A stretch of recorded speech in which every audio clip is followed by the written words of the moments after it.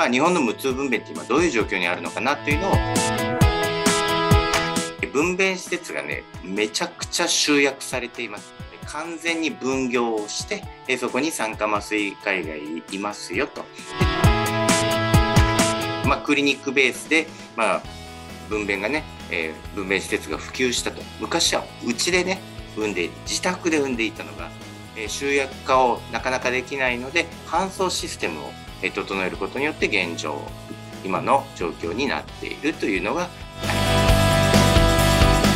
コロナっていうのは社会の変化のスピードをアップさせるっていう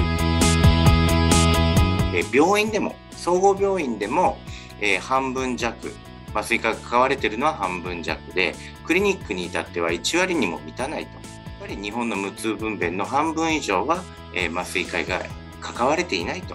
これがいいとか悪いとかいう話ではなくそういう状況にはないよということになります。が皆さんねこの集約化がそんな簡単に進むとは思えないですよね。はい、ということはこの、えー、小規模施設の参加の先生を、えー、サポートするシステムが、えー、今後必要になってくると。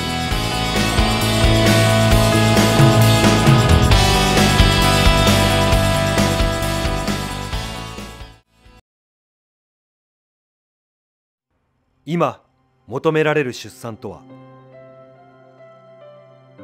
その答えを追い求め現場から飛び出した。見つめる先にある安全な無痛分娩の形。すべてはこの瞬間のために。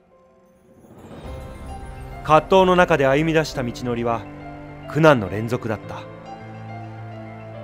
未知の世界へのチャレンジ。その連続だった。世界へしかし支えてくれる仲間がいた。賛同してくれる応援者がいた。その歩みは止まらず。その意志は揺るがず。無痛分娩の安全性向上のために進み続ける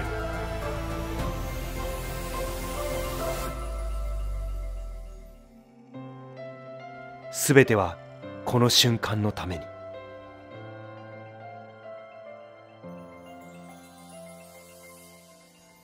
LA ソリューションズ